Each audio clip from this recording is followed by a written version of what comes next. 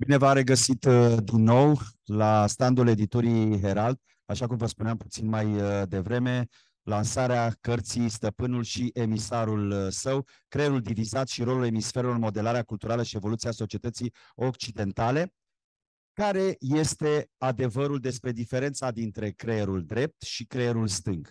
Este unul dominant asupra celuilalt, este unul mai important decât celălalt.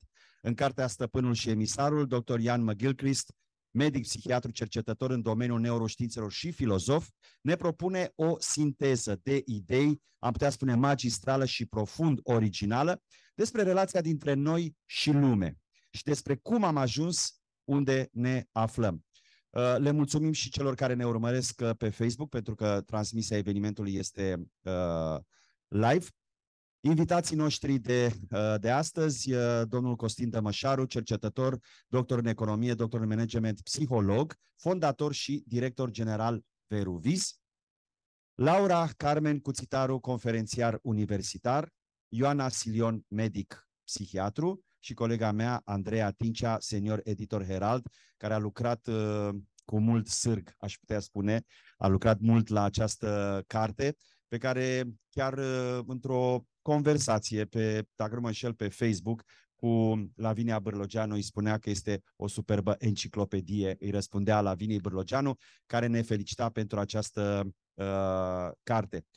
Pentru început, uh, i-aș da cuvântul uh, colegei mele, Andreea Tincea, să ne spună câteva vorbe despre carte, uh, de ce și de unde metafora din uh, titlul uh, cărții și cui se adresează această carte, pentru că este o carte extrem de importantă, de la, uh, după cum observați, și voluminoasă, da? generoasă, Uh, și uh, Laura Cuțitaru chiar îmi spunea în urmă cu câteva zile, o săptămână, că în urmă cu uh, doi ani sau trei ani, cam așa ceva, unul sau doi ani, uh, Iain McGilchrist uh, a publicat în limba engleză o altă carte, tot așa de dimensiuni destul de mari. Uh, Andreea, ce ne poți spune despre carte? De unde să începem? Bună ziua, în primul rând, bună ziua tuturor, să o luăm cu începutul. Uh, mulțumesc tare mult că ați acceptat să fiți alături de noi pentru acest uh, eveniment. Uh, recunosc că, deși cartea a fost pregătită poate un pic înainte de acest târg, am așteptat uh, un moment oportun în care să o lansăm așa la apă, cum s-ar spune, despre vase, în primul rând pentru că este o carte elegantă, foarte mare, dar vorba aceea, dacă ai vrea să ai în casă o istorie a gândirii umane, probabil că așa ar arăta cel puțin o enciclopedie sau o carte care tratează un astfel de, de subiect. Uh, Ian McGilchrist este uh, un surprinzător uh, psihoterapeut, uh, psihiatru, profesor universitar la Oxford, uh, actualmente destul de în vârstă încât să se fi rătras din practica universitară, dar și din practica de cabinet sau poate doar când și când își mai accesează timpul necesar pentru a lucra cu diversi clienți, este bunic, așa și începe cartea, se mândrește și locuiește pe o insulă. Uh, poate nu întâmplător, așa ar trebui să arate, cred, uh, anii sau vârsta, 70, 80, 90, a unui om care reușește în 15-20 de ani să mențină uh, motivația necesară, uh, munca, să o dozeze astfel încât uh, în decursul a 15-20 de ani să poată să scoată un astfel de tom, să se lupte poate cu ceea ce înseamnă uh, trecerea timpului, faptul că în 20 de ani cu siguranță teoriile psihologice, teoriile minții, teoria minții suferă transformări, să rămâi totuși uh, la cald cu informația pe care te bazezi în studiul tău, în cercetarea ta, că asta este ceea ce a făcut Ian McGilchrist um, și a pus în această carte și să rămâi relevant cu o temă care acum vreo 25-30 de ani um, era de fapt destul de trasă la răspundere, scoasă în față și hulită. Este o temă pe care recunoaște încă din prefața acestei cărți autorul că uh, l-au avertizat în privința aceasta destul de mulți uh, psihoterapeuți sau colegi de cercetare, colegi din mediul uh, academic, um, Lateralitatea cerebrală acum 30 de ani era un subiect fierbinte de care nimeni nu prea se atingea, pentru că cercetările nu prea puteau să susțină niciuna dintre ideile pe care le puteai avansa. Părea să fie aproape o știință a părerii și atât. Uh, în schimb, Ian McGilchrist a ținut de acest proiect și a reușit să aducă o carte groasă, dar pe care eu aș recomanda-o în casa oricărui om care iubește tot ceea ce înseamnă istoria culturii, istoria civilizației, istoria ființei umane, istoria evoluției noastre, pentru că în carta nu o să se mai ducă niciun copil să deschidă și să citească despre asta, sau niciun adolescent. Uh, probabil că despre ceea ce înseamnă mintea noastră, partea cerebrală, dar și partea psihologică a universului nostru uh, psihoemoțional, putem să povestim tinerilor până la un anumit punct, un punct din care probabil că nici noi nu mai știm sigur cum stau lucrurile și trebuie noi înșine să ne informăm. Uh, pe de altă parte, dacă aș vrea să prezint adolescentului din casă o istorie a ceea ce el este astăzi și a definirii de sine, i-aș pune în brațe sau pe noptieră și această carte, care, deși uh, pare să fie incredibil de, de mare, este o călătorie extrem de plăcută. Într-adevăr, autorul face constant referire la studii, la cercetări uh, și pe cele pro și pe cele contra viziunii lui asupra lateralității uh, cerebrale și a modului în care ființa umană a evoluat de-a lungul timpului. Sumarizează, evident, extrem de mult din istoria noastră, dar uh, modul în care o face dă de înțeles că în spatele acestui travaliu este în primul rând un literat, un îndrăgostit de istoria artei. Uh, capitolele care tratează această parte a întâlnirii dintre psihicul nostru și viața noastră externă sub forma culturii și a civilizației și în mod special uh, trecerea prin istoria artei este mm, extraordinar de frumos. Uh, este o carte despre filozofia culturii, despre filozofia artei, despre neurobiologia creierului nostru și a ființei noastre, despre evoluția noastră, pornind de la a observa cum anume și de ce ar fi trebuit ființa umană să evolueze într-o ființă care are un creier împărțit în două emisfere. Care este sensul acestei experiențe biologice pe care o avem? Căci s-ar putea să nu fie o, o pură întâmplare a evoluției și chiar dacă e o întâmplare a evoluției, are un sens. Așa că vă propun să începem întâlnirea de astăzi, poate cu o întrebare. Știți de ce avem două emisfere cerebrale? De ce sunt diferite, de ce se numesc stânga și dreapta, de ce avem atât de multe idei despre, uh, din psihologia pop psychology, da, de, de public larg, că una face ceva, cealaltă face altceva. Cât este adevărat oare din aceste mituri mai informate sau mai dezinformate despre ce face creierul nostru?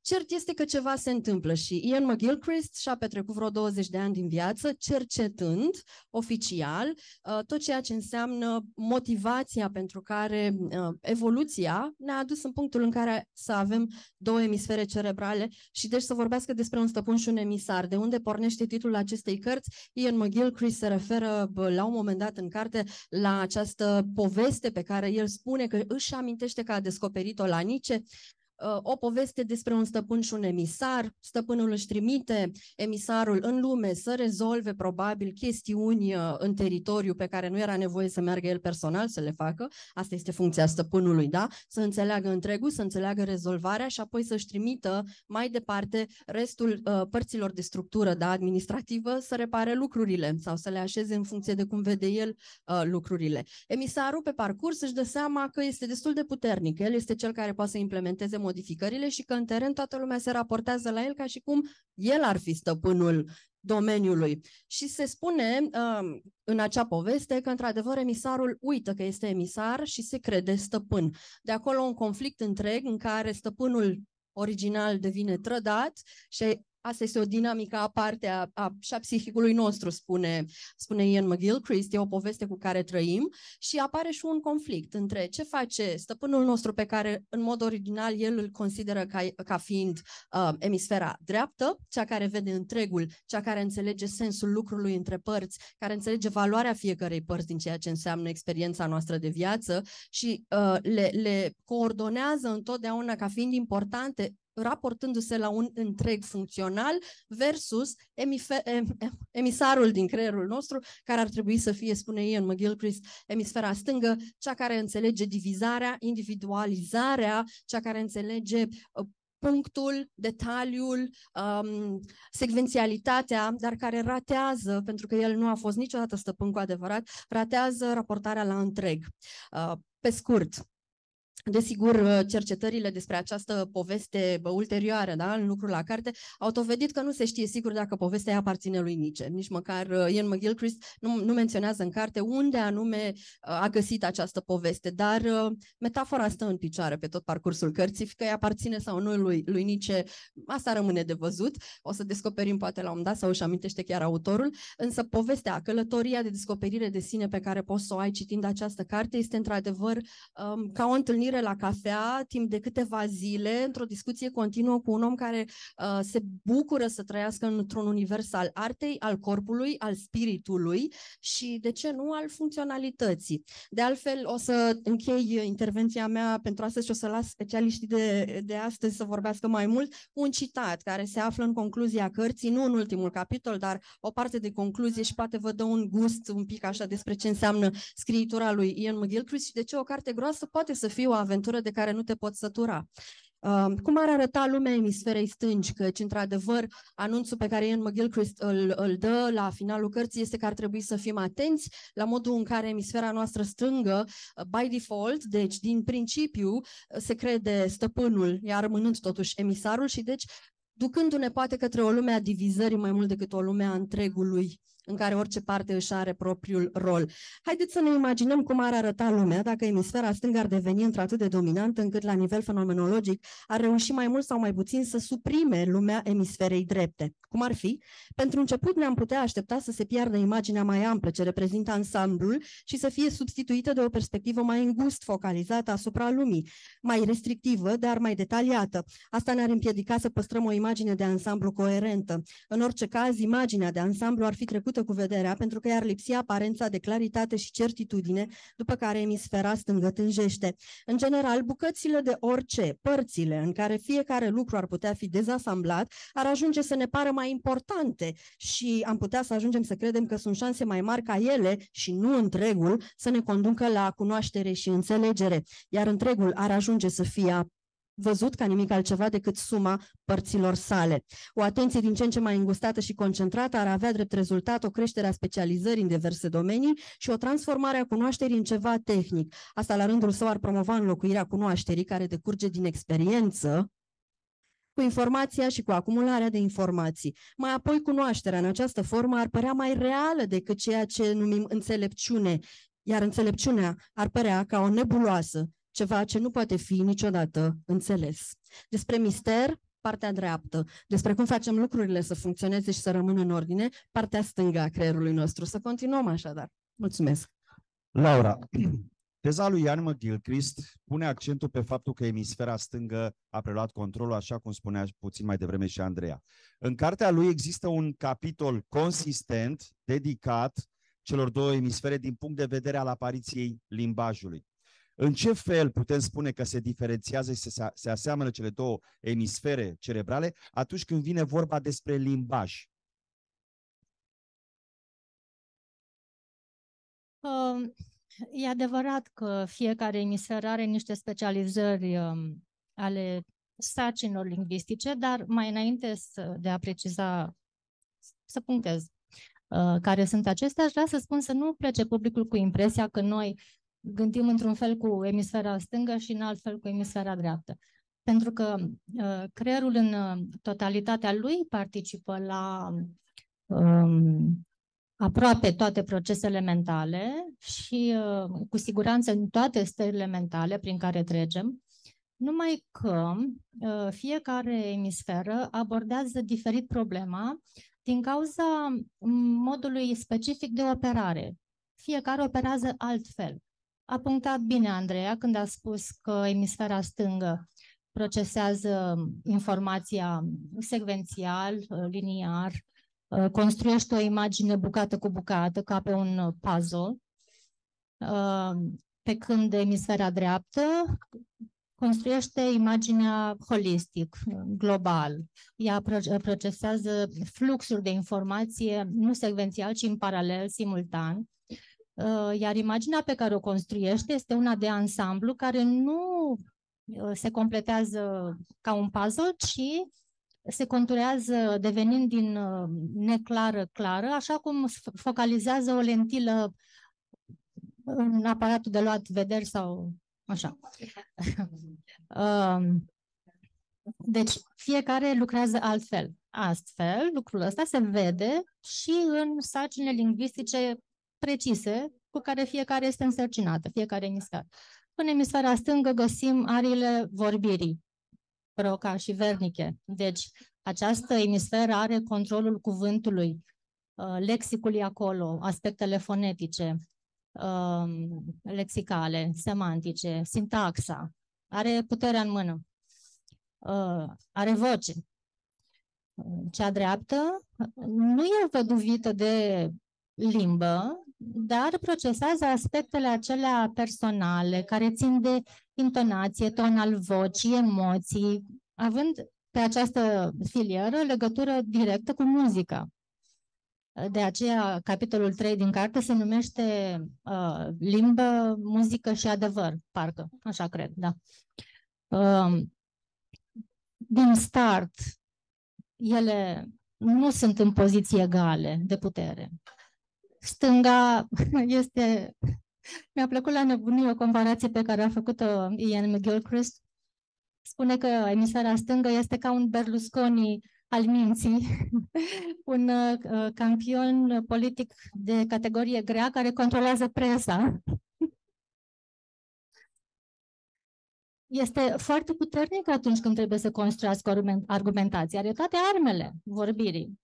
Logica e acolo, linearitatea, foarte puternică. Pe când emisfera dreaptă, care știe ce știe ea este atât de complex, încât nu poate fi dezasamblat și apoi asamblat la loc. N-are cum. Și atunci se bazează pe intuiție, favorizează implicitul, uh, paradoxul, ambiguitatea, uh, ironia, umorul, sarcasmul, aluziile de uh, cuvinte, subtextul, tot ce este implicit și care este foarte nesuferit emisferei stângi, care trebuie să fie în control, să știe tot, să schematizeze, să clasifice, să categorizeze, Asta este uh, legătura dintre uh, ceea ce fac el în ceea ce, ce privește limba. Uh, categoric, lumea construită de emisfera stângă va fi cea inevitabil dominantă. Punctul ei de vedere va fi cel preferat de toată lumea, este cel mai accesibil, este gălăgios, este vocal, e, e mai ușor să trăiești așa decât în incertitudine și în... Da. Da. Asta este inegalitatea lor de forță. Mulțumesc, uh, Laura partea dreaptă? Ce face partea dreaptă a creierului pentru partea stângă a creierului în privința limbajului? Ce înseamnă metaforă versus un text care este uh, un manual de instrucțiuni, să zicem, de folosirea unui aparat? Ne dăm seama că emisfera dreaptă este stăpânul din faptul că orice mesaj ai transmite, verbal, comportamentul, gestica, mimica, tonul, îl poate contrazice pe loc, mesajul literal. Mesajul literal este înțeles de emisfera stângă. Pentru emisfera stângă, mesajul, o, deci o propoziție sau o frază, sensul ei, este compus din suma sensurilor cuvintelor care compun acea, uh, din potrivă, emisfera dreaptă, este cea care overrides, poate anihila totul. Poți să înjuri pe cineva, dar dacă o spui cu drag și cu o privire că este un limbaj tacit, implicit, între doi, ai contrazis uh, cuvintele, nu? Ea trebuie să fie stăpânul, e mai puternică, dar e percepută ca fiind cea slabă. Costi, o parte din munca ta este să observi creierul din interior așa cum nu se vede cu ochiul liber. Din studiile și din munca de cercetare pe care le-ai depus până acum la centrul uh, Veruvis, ce ne poți spune despre divisarea emisferică? Este un mit este o realitate? În ce fel se aseamănă și se diferențiază cele două emisfere și mai ales funcțiile lor? Căutăm acum pe telefon, pentru că am un lapsus, uh, numele intervenție medicale de tăiere a corpus calosum. Pentru epilepsie, la epilepsie, exact. În momentul în care uh, un, uh, un pacient are epilepsie severă, se secționează corpus calosum pentru a diferenția cele două emisfere. Și sunt studii care arată că avem două creiere diferite. Sunt studii care arată că, spre exemplu, îi se adresează o întrebare unui pacient, după ce i s-a tăiat corpus calosul. Și spune, cum te simți? Vorbește și spune, mă simt bine, scrie cu mâna, mă simt groaznic. Adică are două creiere. Mi-a plăcut foarte mult cartea, trebuie să recunosc că m-a incitat și am găsit informații foarte valoroase.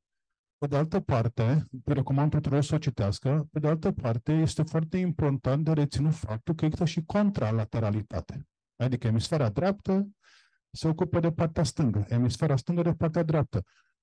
Întrebarea mea și sper să o găsiți în paginile cărții, pentru că mie îmi plac cărțile care ridică mai multe întrebări decât cele care dau răspunsuri.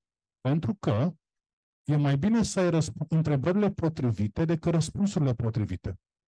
Pentru mine este o carte absolut fascinantă pentru că m-a lăsat cu niște întrebări foarte, foarte pertinente pe care voi încerca să le dau, pe care voi încerca să dau un răspuns la la centru.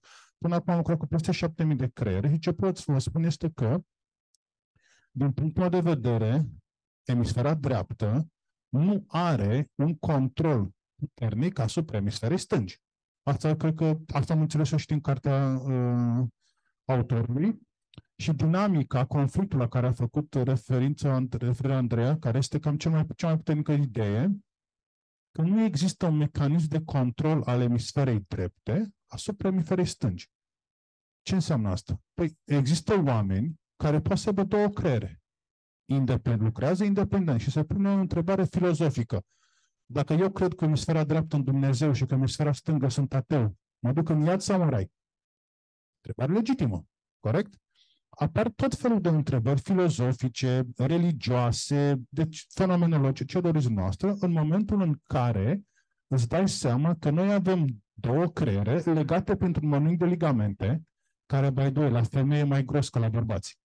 Femeile, se știe deja, și asta am găsit o aluzie în carte, că am căutat fix și asta, Creierul femeilor este mai puternic decât creierul bărbaților. De ce? Corpus calosul, mănunchiul de ligamente care legă cele două emisfere, este mai gros, astfel încât informația circulă mai rapid între cele două emisfere. Dovede științific. Asta le permite femeilor să poată să se dea doi pași în spate și să vadă imaginea de ansamblu. Băr- creierul bărbaților este mai reacționar, reacționează. Pentru că astea au fost rolurile care au trebuit să fie îndeplinite de femei și bărbați de-a lungul evoluției noastre.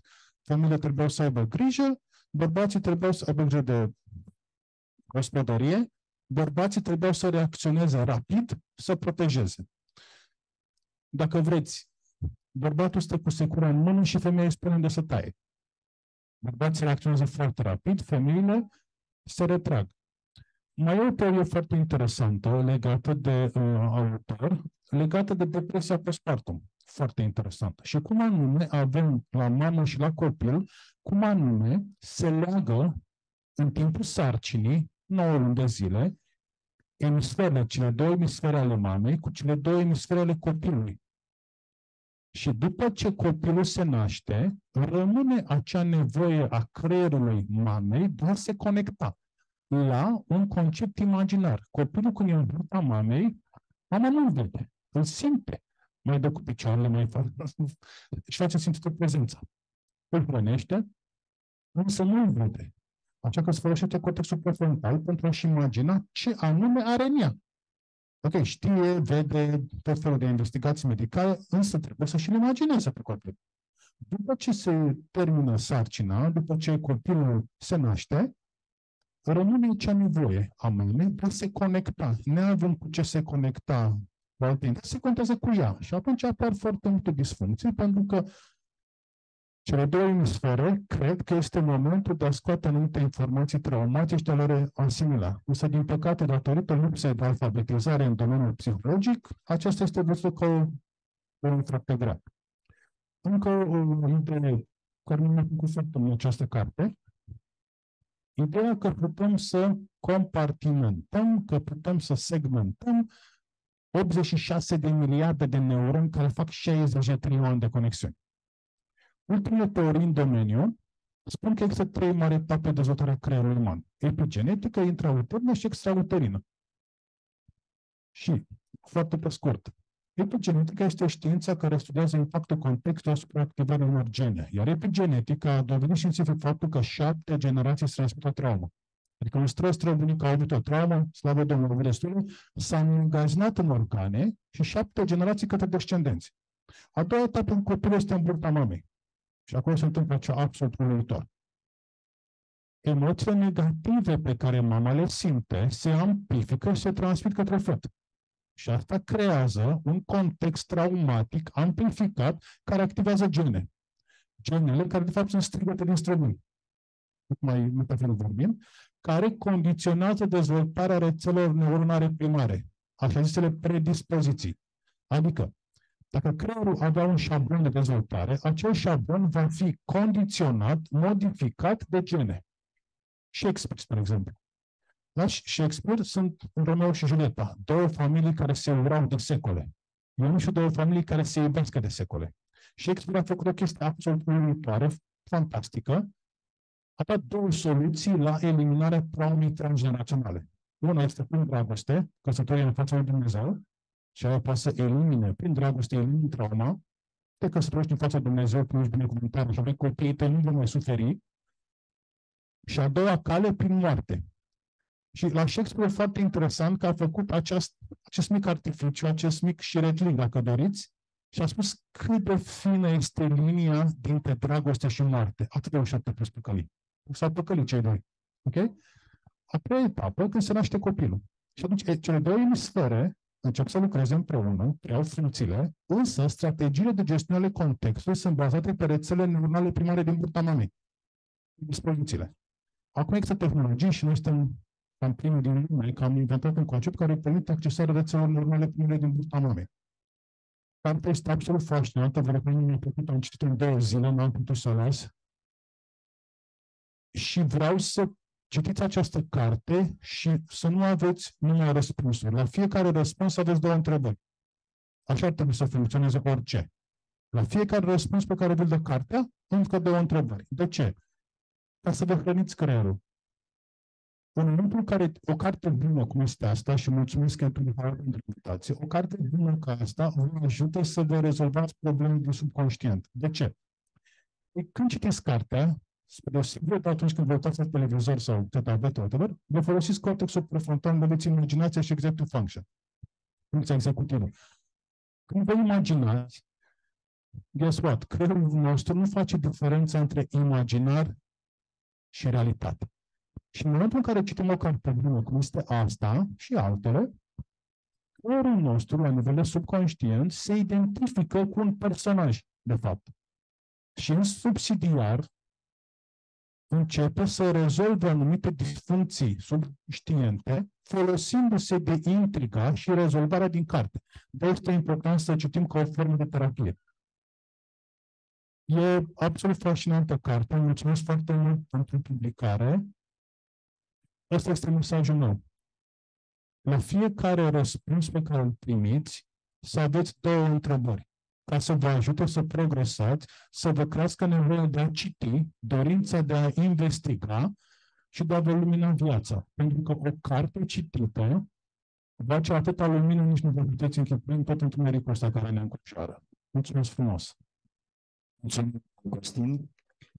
Milana, cartea abundă în exemple, studii de caz, uh, multe exemple practice, cercetări medicale, legate de suspendarea anumitor funcții psihice atunci când anumite zone din creier sunt avariate sau sunt inactive. Cum abordează psihiatria în prezent diferența dintre emisfere, funcțiile lor și conlucrarea lor? Din punct de vedere științific, uh, creierul, emisfera dreaptă și emisfera stângă reprezintă un tot. Nu putem, uh, nu putem face diferența între cele două emisfere. Uh, și cum, uh, cum sunt legate. Ce povestește autorul este uh, funcționarea la nivel cortical, strict cortical al celor două emisfere. Însă, la nivel subcortical și la nivelul trunchiului cerebral, care practic ne, ne ține în viață, lucrurile se contopesc. În ceea ce privește creierul uman, avem mai multe tipuri de disfuncții, și anume disfuncții anatomice de substanță, de structură, cum apare atrofia cerebrală, de exemplu, sau formațiune locuitoare de spațiu, tumori intracerebrale care determină știu, efecte de masă și îi ia din funcția cerebrală, dar și dificultăți sau, mă rog, secreții insuficiente, inadecvate de neurotransmițători. Deci și fiziologic și anatomic structural pot, pot interfera cu, cu gândirea și cu funcționarea creierului. Din punct de vedere al studiilor, sigur că au fost studii, din totdeauna s-au făcut studii la nivel cerebral, PET-CT-ul este cel mai folosit și anume faptul că se evaluează anumite zone ale creierului care se activează în circunstanțe diferite. Uh, și astfel s-a văzut că emoțiile sunt, uh, activează mai degrabă partea um, stângă, dreapta a creierului, iar uh, lucrurile concrete de cealaltă emisferă. De aceea putem spune că emoția este apanajul emisferei stângi, emisferei drepte. Dar ce ne facem în cazul stângacilor? care au uh, inversate circuitele de, de funcționare și de uh, percepția a evenimentelor și a lumii exterioare. Uh, aceștia pot funcționa foarte bine și tehnic, dar și artistic. Uh, nu știm uh, cum apar interconexiunile cerebrale la nivelul corpului calos care transmite informația de la un uh, emisferă la cealaltă emisferă. Uh, dar nu poți să funcționezi uh, concret și strict doar cu una din emisfere. Deci uh, nu pot fi întrerupte uh, ca funcționale. Uh, de aceea au din punct de vedere medical, creierul este legat și de organism, de corp, Uh, creierul este practic cel care ne conduce, iar organismul e o anexă a creierului nostru. Uh, toate funcțiile, toate informațiile, toate emoțiile, toate activitățile pe care le face sunt, sunt uh, coordonate și dictate de creier. Dacă avem o suferință la nivel fizic, aceasta se reface mult mai repede decât o suferință la nivelul creierului. Uh, care se instalează insidios, lent, uh, în cazul uh, disfuncțiilor fiziologice sau brusc atunci când avem traumatisme, atrofii cerebrale sau vasculare, lucrurile sunt mult mai zgomotoase. De asemenea, stările de tensiune, neliniște, eu știu, depresie, anxietate, sunt preluate, sunt percepute la nivelul uh, creierului și preluate de organism, de întregul corp. Și apar, uh, apar sigur, tulburări uh, metabolice pe care, mă rog, se, se pot trata la nivel somatic, dar dacă nu se rezolvă cauza care a determinat tulburarea, și anume tulburarea afectivă sau anxietatea sau, știu, alte probleme, nu se vor rezolva nici cele fizice. Deci, din punct de vedere cortical, da, se poate împărți creierul, sau mă rog, emis, emisferele în două jumătăți, dar concret nu, nu există. Laura, ce consecințe au pentru educație în general dominația emisferei stângi? Asta și pentru faptul că uh, cartea este o abordare nu doar din punct de vedere neurologic, din punct de vedere psihiatric, din punct de vedere uh, medical, ci este și o abordare, așa cum spune de altfel și subtitlul cărții, este și o abordare antropologică, da? modelarea culturală și evoluția societății occidentale. Uh, da, pentru educație. Um, vorbea, cred că... Uh, Costin. Da, de contralateralitate, ceea ce înseamnă uh, faptul că o jumătate de creier controlează pe diagonală cealaltă jumătate a corpului. Uh, emisfera stângă este cea care controlează mâna dreaptă, cu care apucăm. Uh, și în engleză e foarte interesant faptul că verbul to grasp are două sensuri. Unul concret, care înseamnă a apuca cu mâna, a prinde, dar și a înțelege. Lucruri care sunt legate, aparent nu. Da, exact. Um, deci, emisfera stângă este setată, cum să spun, din start pe acumulare materială, de bunuri. Să pui mână. Să controlezi, da. Uh, are un punct de vedere uh, utilitarist care e bună în sine. Deci tot ce face emisfera stângă, acum o demonizăm. Vai de mine, emisfera stângă, ne-ar fi mai bine să nu avem sau să facem un atac pe stânga, un atac cerebral. Toată planeta ar beneficia de un uh, left hemisphere stroke? Așa se întreabă chiar autorul. Nu, categoric. Deci este un emisar foarte capabil, foarte priceput. Deci fără el n-am putea exista. Este minunat ce face, numai că face în exces. Vrea să facă și pentru emisfera dreaptă ce face ea. Și nu poate, nu are cum. Deci este strict utilitarist, acest punct de vedere, e foarte îngust, na, sub un aspect. Uh, deși e bine să învățăm și să procurăm hrana și să construim adăposturi, nu putem fără ele, însă omul trebuie învățat că viața înseamnă mult mai mult decât atât. Asta prin emisfera dreaptă prindem sensul global. De ce existăm? Trebuie pus totul în context.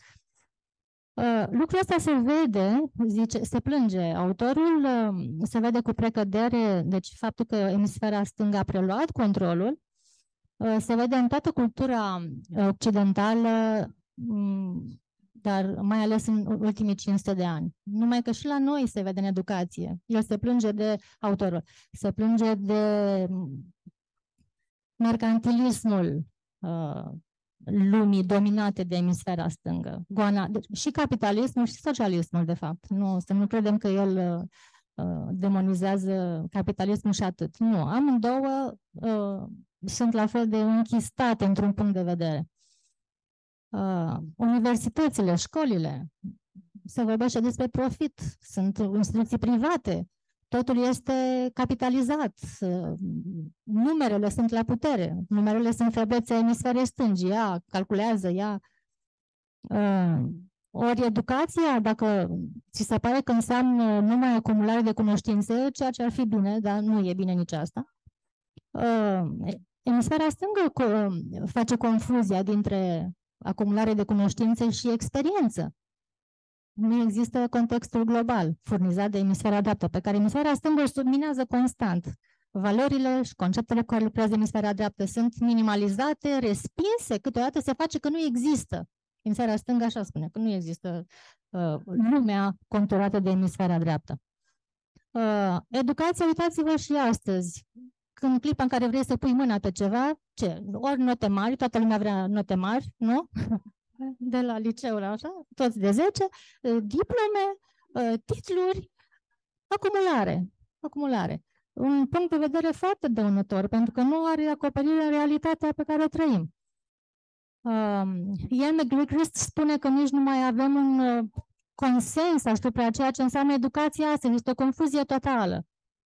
Uh, ce zice el că ar trebui să avem, uh, cum să înveți un copil să uh, crească și să gândească, școala, rolul ei, uh, este să spun așa, fiecare, ar trebui niciun copil să nu iasă din școală uh, fără să fie învățat acolo, mai întâi să-și formuleze un punct de vedere propriu asupra unui lucru, bineînțeles mai întâi prin acumulare de cunoștințe, că ai nevoie să acumulezi un bagaj, apoi să faci conexiunile, dar apoi să, să argumenteze copilul să argumenteze punctul de vedere, dar apoi să iasă din eul lui și să fie în stare să se uite la probleme din perspectiva celorlalți, să se pună în pielea altuia și să vadă argumentele pe care le-ar aduce, le aduce altcineva, să susțină el însuși acele argumente contrare, astfel încât să tolereze și ambiguitatea și faptul că nu putem avea răspunsuri exacte cum vrea emisfera stângă, că unele adevăruri pot fi formulate numai ca, cum spune, indirect sau prin mituri sau prin muzică transmise. Să trăiască cu incertitudinea. Este un mare lucru. Pentru că dacă nu înveți asta, uitați-vă ce se întâmplă astăzi în lume, gândirea este tot mai polarizată, ești tot mai radical, mai inflexibil, mai fixist, mai dogmatic și răspunsul la aceasta este violența crescândă. Da, așa nu ar trebui să arate lumea. Este lumea uh, condusă de emisfera stângă. Trebuie făcut neapărat loc emisferei drepte. Cum? Prin artă, prin muzică, prin științele umane. Acum eu nu fac pledoarie pro domo, pentru că dacă sunt la filologie la Iași, vă rog frumos să învățați filologie și uh, dar acestea, uh, istoria, științele umaniste în general, nu ar mai trebui marginalizate, ci incorporate pe lângă matematică, Doamne ferește, toate astea sunt folositoare. Numai că marea greutate este drumul de mijloc, măsura. Nici la, pentru că nici la dreapta nu e prea bine, să știți. Deci o lume, să spui cum arăta lumea, ar arăta dacă emisfera stângă, nici nu ar fi bine să arate cum ar vrea numai emisfera dreaptă. Nici așa nu e bine. Deci uh, are McGilchrist un concept foarte interesant care poate fi tradus foarte greu. Este in-betweenness nici la stânga, nici la dreapta, între lucruri. Deci această stare de echilibru care, uh, cre, despre care cred că se vorbește, nu sunt familiarizat deloc cu subiectul, dar îl auzeam ieri pe Mircea Cărtărescu vorbind despre lucrul ăsta și mi-a atras atenția. Uh, călugării tibetani ar avea un astfel de loc, de un in-between, de un loc intermediar, mă gândeam că este acel loc de echilibru în care nu te duci, nu în extreme calea de mijloc, care este foarte grea. E cea mai grea. Da. Mulțumim, uh, Laura. Costin, cum ne ajută știința actuală a cartografierii creierului să ne îmbunătățim viața, să ne înțelegem pe noi înșine mai bine și să fim până la urmă mai responsabili pe lumea pe care o creăm zi de zi? Uh, la fel cum spun studenții mei, implicat pe subiect aici. Mulțumesc frumos. Am cartografiat până acum peste 7.000 de creiere, 4.000 de copii și 3.000 de adulți. Um, și înainte să spun care sunt uh, rezultatele, vreau să întreb ce crezi voi că e creierul, că tot vorbim de de și ne păi E o masă de grăsime de vreo 1,8 kg într-un acvariu cu lumina stinsă, basically. Ok? Nu e ideea mea, e toată dintr-o carte. Ce înseamnă asta? Păi în orice carte de biologie de clasa 7 scrie că eu vă văd pe voi acum cu capul jos și mai mici.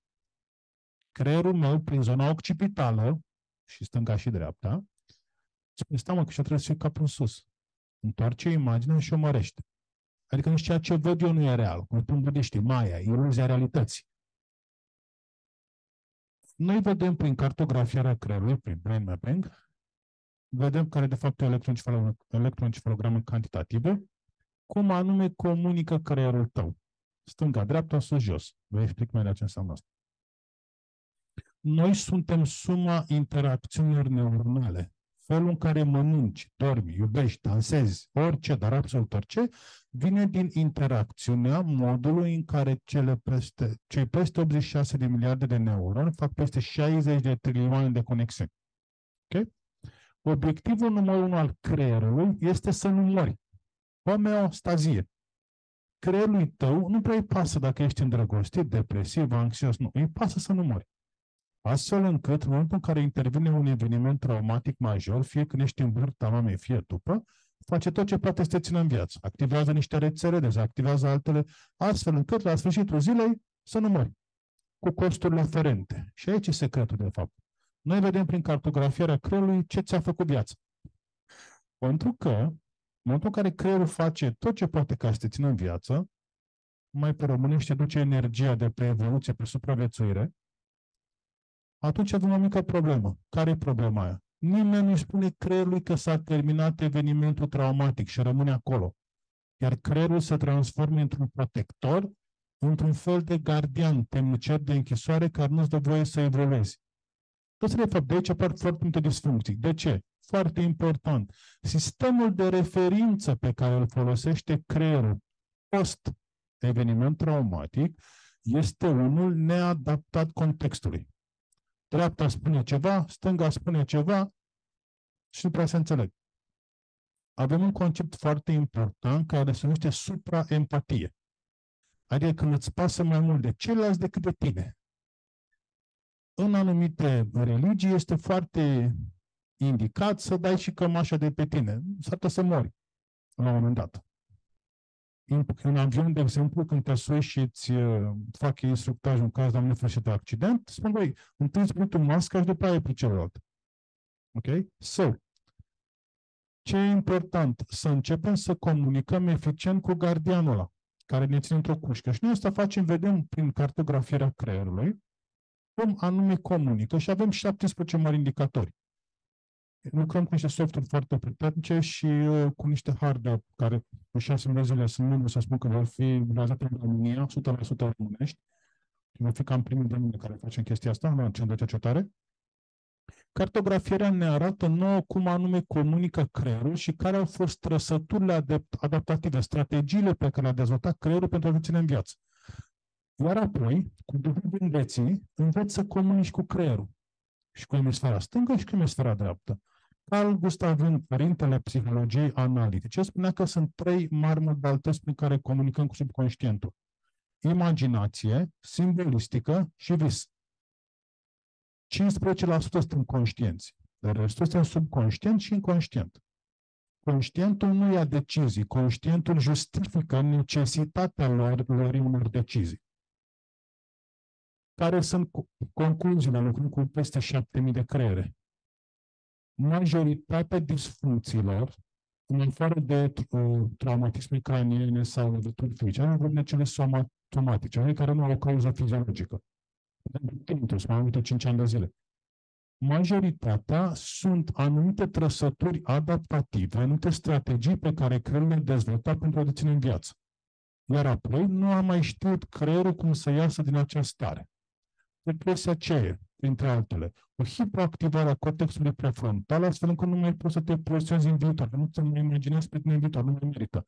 Anxietatea, Bine, printre altele, foarte brutal spus, e o hiperactivare a cortexului prefrontal. Îți folosești imaginația ca să vezi toate scenariile din viitor, toate catastrofale.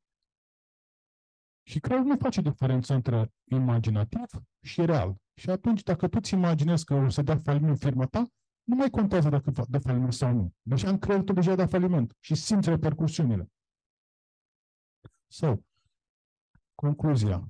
Există acum tehnologia a avansat uluitor de mult Cartea aceasta este o bază pentru a înțelege, de fapt, cum anume să înțelegi modul în care creierul te ține în viață.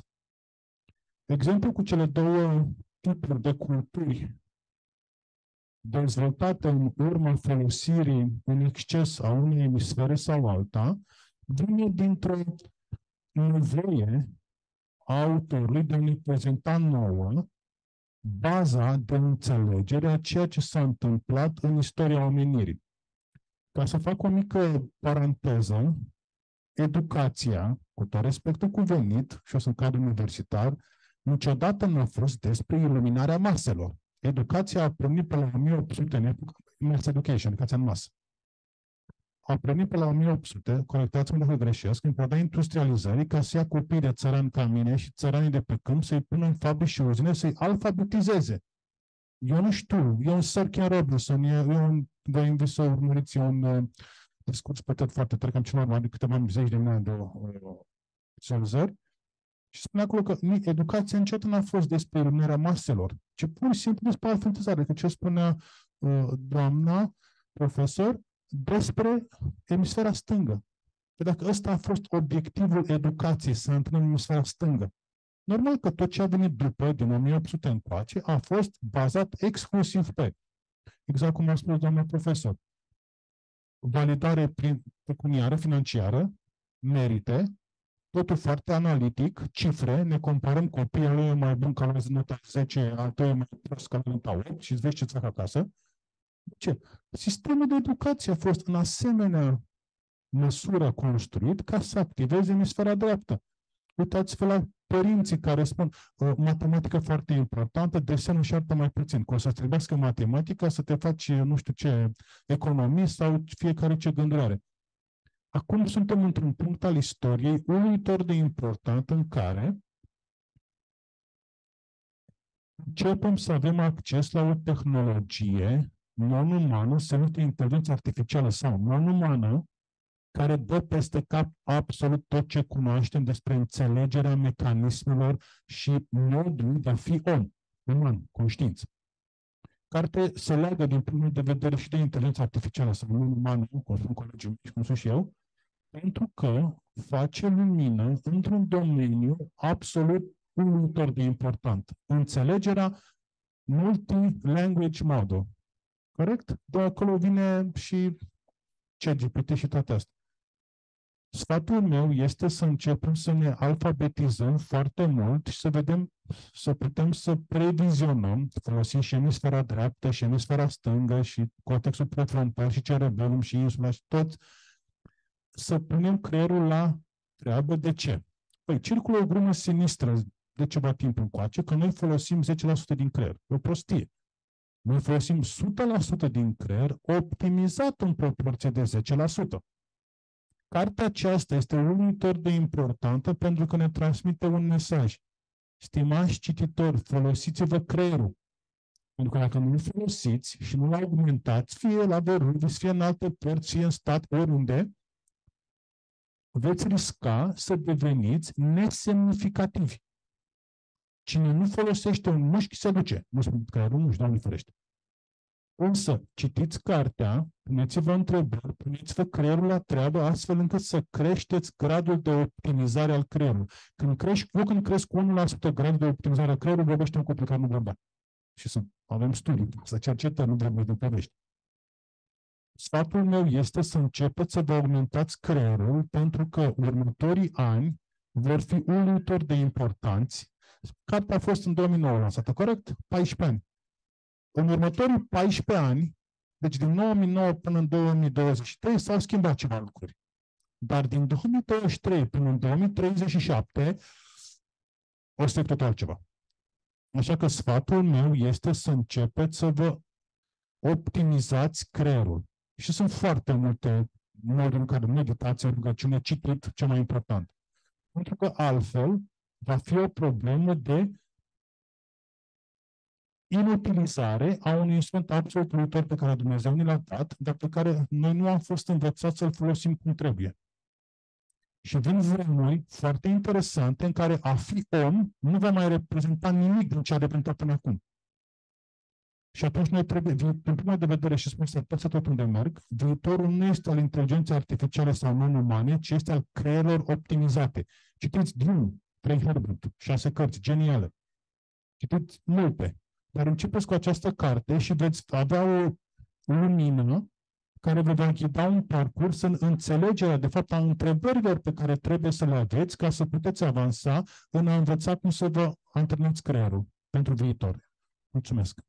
Mulțumim mult, Costin. Bun, pentru că autorul este și medic psihiatru, aș vrea să te întreb ce înseamnă starea optimă de sănătate din punct de vedere al psihiatriei și ce rol joacă cele două emisfere cerebrale în menținerea acestei stări de sănătate, se spune, de homeostazie. Da, în prim... Uh, aș vrea să completez un pic gluma la care s-a referit uh, colegul nostru, Costin. Uh, ideea era că folosim o treime din creier și ce facem cu cealaltă treime? Astea sunt, asta e percepția în gluma oamenilor în ceea ce privește modul de a folosi creierul. Din punct de vedere al structurii, al funcționării, creierul a fost programat cu mult timp înainte. Vremurile s-au schimbat atât de mult încât am rămas în urmă din punct de vedere adaptativ. Uh, ca să optimizezi creierul uh, nu e un lucru foarte simplu și nici nu putem să ne bazăm pe aparate așa cum uh, este tendința și cum încearcă lumea să eu știu, să, cum își dorește. Lucrurile sunt mult prea avansate și ne-au cam depășit capacitatea de adaptare a creierului și din punct de vedere funcțional și din punct de vedere emoțional. Și atunci apare o, o disfuncție funcțională și pacienții vin la doctor, la psihiatru în ultimă instanță, atunci când nu mai pot funcționa. pot trece peste afecțiuni somatice, pot trece peste dezechilibre emoționale atât timp cât își revin și funcționează în societate. Atunci când apare insomnia, de exemplu, care este unul din factorii care scoate omul din funcție cel mai, cel mai comun și cel mai mult, pentru că creierul, dacă nu Adică dacă nu vorbim, creierul nu se reface, nu, nu se odihnește. Și apare așa un cerc vicios, insomnie, uh, iritabilitate, irascibilitate, uh, scăderea performanțelor, uh, scad performanțele, apare frustrarea, neputința, scade încrederea în sine um, și de aici până la, eu știu, afecțiuni psihiatrice care necesită intervenție farmacologică, mai e doar un pas. Uh, cele două emisfere funcționează concomitent.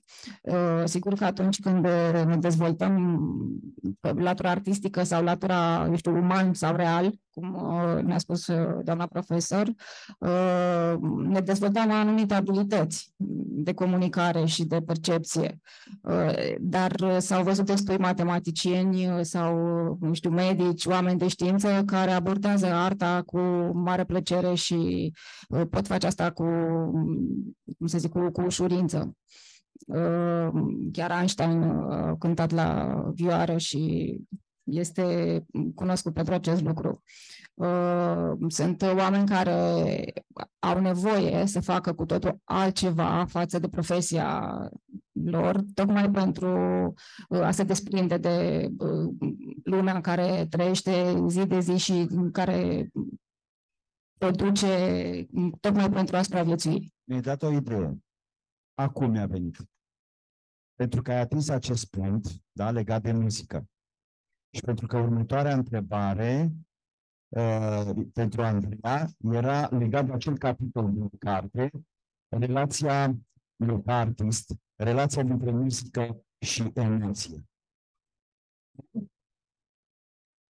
La vioară. Într-o, într orchestră. Da, în orchestra medicilor. Da? Uh, Dar Andro... există și orchestra inginerilor. Andreea Tincea este la fel artist, vocal, da? Și aș vrea să vă întreb pe amândouă de, legat de această relație dintre muzică și emoție. Uh, din punct de vedere, din punctul meu de vedere cel puțin, uh, îmi place, îmi place arta, e de bușeul meu arta și vizuală și muzica. Uh, muzica este forma cea mai complexă de artă, forma de exprimare cea mai complexă Uh, pentru că efectiv poate să treacă prin toate emoțiile spre deosebire de, știu, alte forme de, de artă. Uh, eu fac, mă rog, studiez vioara um, foarte tehnic, pentru că, din punctul meu de vedere, capacitatea mea de uh, a integra sunetele și melodiile sunt limitate din punct de vedere al conexiunii. Deci eu studiez strict pe note matematic. Așa, așa pot eu să, să cânt, chiar dacă e muzică frumoasă și care e melodioasă, dar din punctul meu de vedere toate sunt pe note. Pentru că așa am învățat eu. Eu aș întreba dacă ceilalți invitați au uh, o activitate care ține de muzică, în afară de a asculta muzică. Întâmplător, sunteți și dumneavoastră muzicieni? ok. Um, nu aș ști cum să răspund ușor sau scurt la întrebarea ta despre cum te ajută muzica în viață. Eu sunt modelul exact invers al experienței dumneavoastră. Sunt un muzician intuitiv. Este în primul rând o experiență corporală, emoțională și uh, energetic-spirituală pentru mine muzica. Este o experiență pe care pur și simplu creierul meu, probabil într-un fel sau altul de uh, meca- mecanism de, de a face față experienței de viață, da, de coping, uh, m-a, m-a condus dus, pur și simplu uh, intuitiv, să mă preocup de aceast, acest tip de experiență. Uh, timpul și ultimii 20 de ani de făcut uh, intuitiv, cu deschidere și fără să încadrez experiența asta într-o zonă performativă care să fie fie um, um, eu știu, premiată la concursuri sau încadrată la experiențe oficiale de um, a, a, a performa cu o orchestră, rezultatul experienței muzicale este că, într-adevăr, o să iterez aici ceea ce poate ați mai auzit, dar eu pot să o spun doar din proprie experiență. Creierul tău face conexiuni mult mai multe atunci când te preocupi uh, cu sunetul. Uh, dacă o faci și dincolo de ceea ce înseamnă zona ta uh, de cortex frontal, uh, te duce în niște spații interioare ale existenței tale și ale psihicului tău, în care mintea aceasta a emisferei stângi nu uh, intervine să uh, analizeze, să pună ea în ordine lucrurile, să vadă dacă ai luat sau nu data corectă, Ba mai mult, partea dreaptă, dacă experimentezi muzica într-un mod intuitiv mai degrabă sau corporal, uh, îți spune exact ceea ce, ce a spus un celebru muzician de jazz, nu contează că ai luat nota greșită, ce, contează ce faci după ce ai luat nota greșită. Iar acolo se întâmplă foarte multe lucruri. Se întâmplă spațiu, în care mintea ta nu mai deține controlul, ci experiența îți spune că este bine orice ce este, doar ești în acest moment, se întâmplă respirație, se întâmplă liniște care ține foarte mult de muzică și asta aduce iarăși alte dimensiuni ale psihicului tău la, la înaintare și se întâmplă rezolvarea. Se întâmplă acea pauză de care poate că vorbea și domnul Costin Dămășaru după o notă proastă sau după o notă bună, dar dacă faci pauză, se poate întâmpla o explorare a unui răspuns, a ceea ce urmează și nu o previzionare, așa cum poate um, muzica scrisă, da? muzica clasică, deja are pentru tine. Muzica este o explorare și este o experiență care, cred eu, um, unește puncte separate din creierul nostru și atunci te aduce mai aproape de a simți, de a te simți întreg. Mm, sunt foarte, foarte atent acum ce o să vă spun, ca să nu vă sperii. Um, am avut un proiect foarte interesant în care am 12 electroencefalograme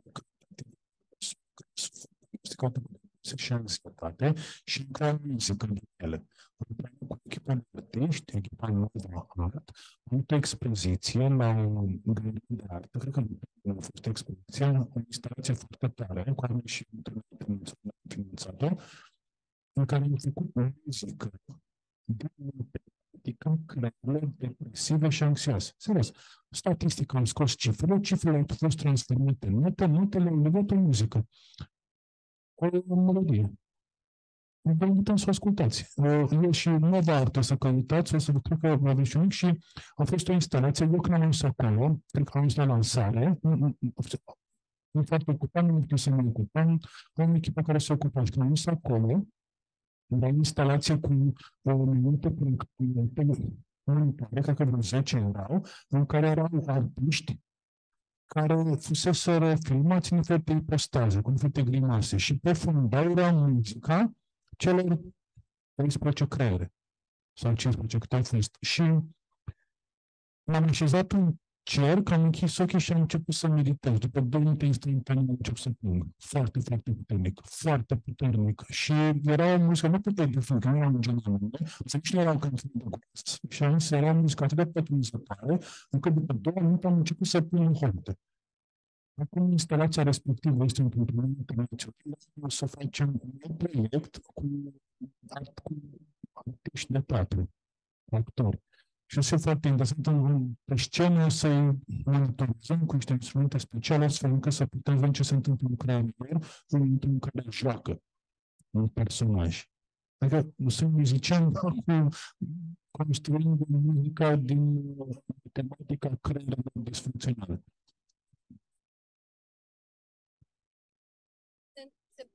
Păstrează un anumit sens al lucrurilor, chiar dacă el este aparent ocultat sau pornește doar de la o bază de date care nu are neapărat un sens direct, uh, eu știu, sonor sau armonic, dar păstrează o plasă de sens care după aceea se transpune în sunet și asta poate la nivel emoțional să-ți transmită un sens ție personal când o asculți. Extraordinar, abia aștept să vedem online materialul. Doamna, uh, doamna profesor și dumneavoastră vreau să adăugați ceva. Aș puncta doar că vorbim acum despre muzică în mod special, pentru că un capitol întreg în această carte vorbește despre limbaj, muzică și corp și despre faptul că um, Ian McGilchrist uh, înaintează sau marșează pe teoria că într-adevăr la început a fost muzica și de acolo a apărut limbajul și nu invers. Um o ultimă frază, pentru că ne expiră timpul, văd. Um, emisfera stângă promovează competiția. Emisfera dreaptă co- uh, promovează cooperarea. Și atunci este firesc să înțelegem de ce muzica, arta care transcend orice limbă națională și vorbesc pe înțelesul tuturor, este un limbaj universal, uh, promovează cooperarea. Să ne uităm la orice concert sau la o expoziție, cum se schimbă starea de spirit a omului, dintr-o dată devine mai bun. Uh, Miguel spune în legătură, în niște studii foarte serioase din ultimul timp, uh, din vest, între competiția agresivă care durează acolo de ceva vreme și explozia de um, depresie, singurătate, frustrare, um, care are loc mai ales în rândul tinerilor. Um, iar tema pe care, care străbate scritura și gândirea lui în această carte, dar și în următoarea, care a fost uh, publicată cu un sau doi, cel mai este următorul.